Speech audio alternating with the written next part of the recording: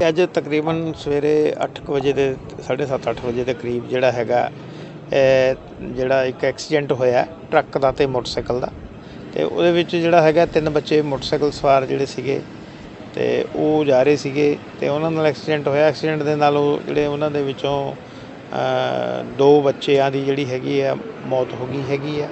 ਮੌ- ਤੇ ਇੱਕ ਜਿਹੜਾ ਬੱਚਾ ਹੈਗਾ, ਉਹ ਆਦੇਸ਼ ਹਸਪਤਾਲ ਪੁੱਛੋ ਜਿਹੜਾ ਹੈਗਾ ਬਠਿੰਡੇ ਰੈਫਰ ਕਰਤਾ ਹੈਗਾ।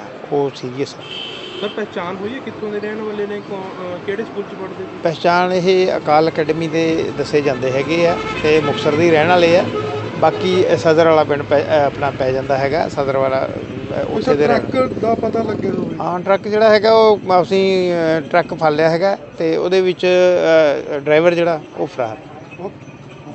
ਨਾ ਜੀ ਗੁਰਚਰਨ ਸਿੰਘ ਮੇਰਾ ਨਾਂ ਕਵਰ ਵਾਲਾ ਪਿੰਡ ਹੈ। ਤੇ ਕੀ ਲੱਗਦੇ ਸੀ ਬੱਚੇ ਆਪਣੇ ਜੀ? ਬੱਚੇ ਸਾਡੇ ਪੋਤਰਿਆਂ ਦੇ ਨਾਂ ਤੇ ਆ ਜੀ। ਅੱਛਾ ਤੇ ਇਹ ਐਕਸੀਡੈਂਟ ਜਿਹੜਾ ਹੋਇਆ ਕੀ ਕਹਿਣਾ ਚਾਹੋਗੇ ਇਹਦੇ ਬਾਰੇ? ਇਹਦੇ ਬਾਰੇ ਜੀ ਇਹੋ ਹੀ ਆ ਵੀ ਇਹ ਗੱਡੀਆਂ ਵਾਲੇ ਓਵਰਟੇਕ ਗੱਡੀ ਮਾਰੀ ਓਵਰਟੇਕ ਗੱਡੀ ਮਾਰ ਕੇ ਐਕਸੀਡੈਂਟ ਕੀਤਾ ਬੱਚਿਆਂ ਦਾ। ਉਹ ਓਵਰਟੇਕ ਗੱਡੀ ਵੱਜੀ ਆ।